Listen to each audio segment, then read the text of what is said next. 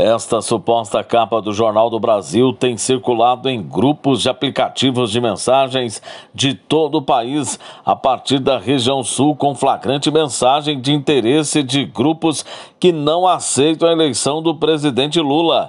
O Jornal do Brasil deixou de circular em edições impressas a partir de abril de 2019. O departamento jurídico do JB já toma providências para responsabilizar os autores e disseminadores deste crime de uso indevido de marca, com pedido de indenização por danos morais. Durante as eleições, um dos tipos de fake news mais clássicos que vimos viralizar na internet é o que apontava para supostas matérias em portais de notícias. Hoje, alguém tentou ser mais vanguardista na desinformação.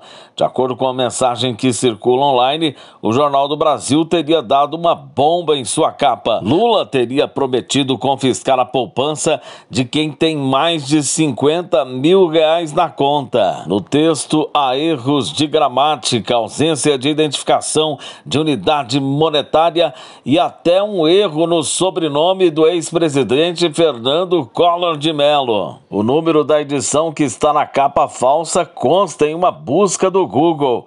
Na reportagem original, o tema é sobre ondas gigantes. Além disso, não há qualquer registro de previsão de confisco de dinheiro nos planos de Lula.